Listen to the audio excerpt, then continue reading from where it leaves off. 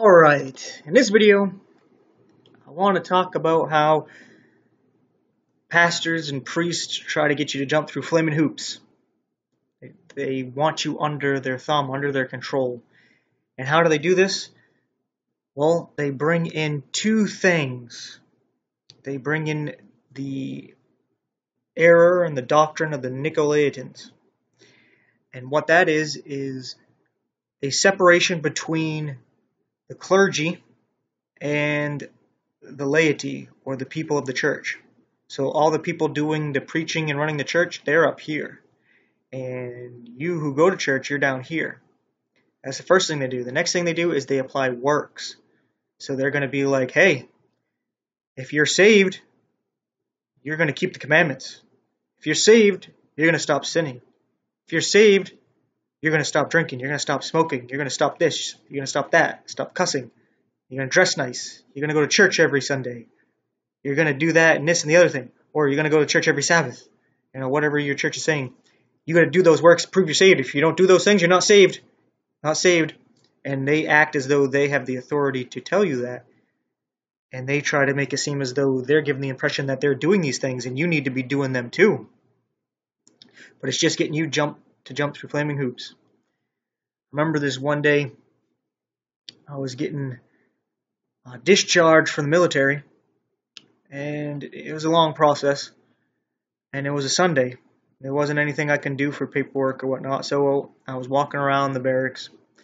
Somebody stopped me and goes, You want to go to a church? I was like, Sure.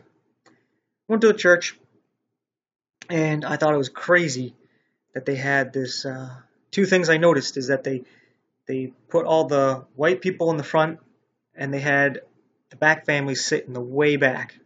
As the first thing I noticed was the segregation.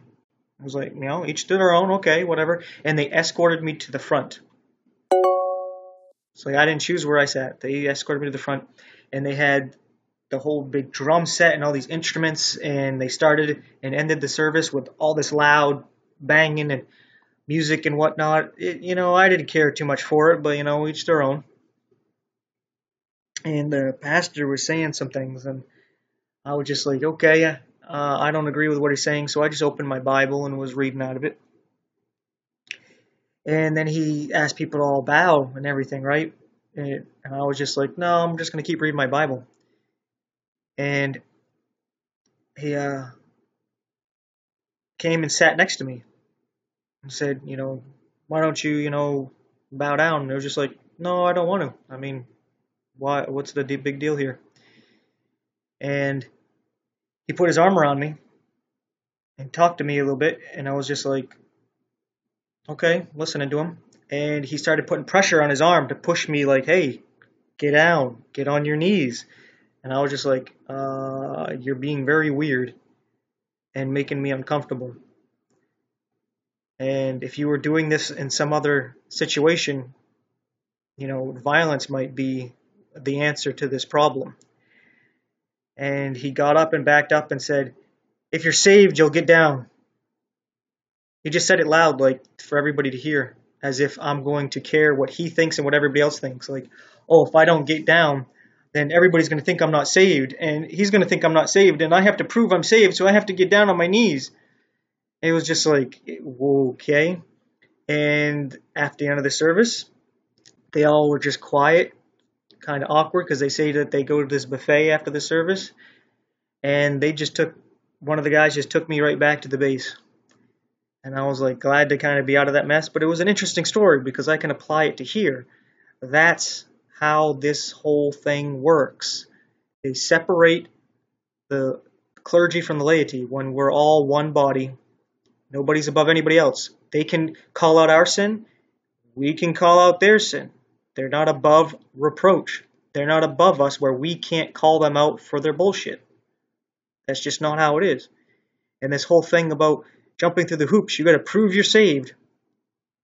Jump through the hoop. Come on. Prove it. They get you dancing there for them. Like little monkeys. Because Nicolaitan means to conquer the people, conquer the laity. And that's what they're doing. That's why they bring works in, because it allows the pastor to manipulate and control the sheep so that he can get more ties. He can get more people coming in. He controls them with guilt. Because guess what? You can never keep the commandments. You can never stop sinning. And you're going to have all these flaws with you. But your body is been circumcised from your spirit so that you're not held condemned and guilty.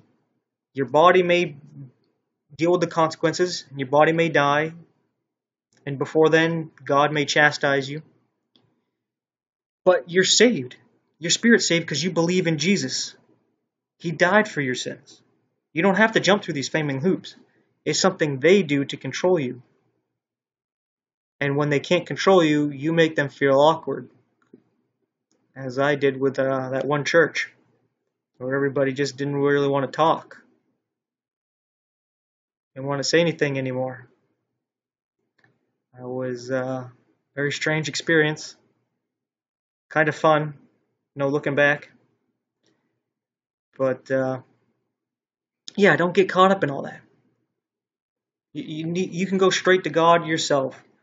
He's your judge. Your pastor is not your judge. Your priest is not your judge. Nobody's your judge.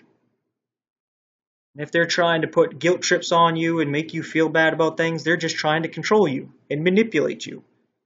Trying to get you to dance and jump through hoops to prove things to them, as if you have to prove anything to them.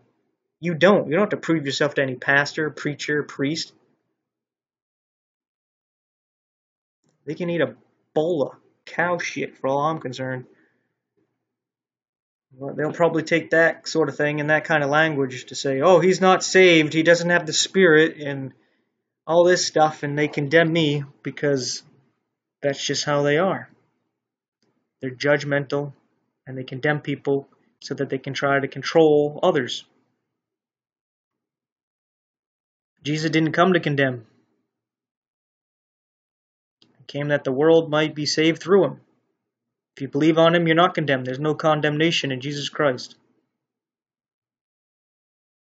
That doesn't make sinning okay, doing bad things okay. It means you don't lose your salvation because of them. So I just felt motivated, inspired to do this. Thanks for watching and take care.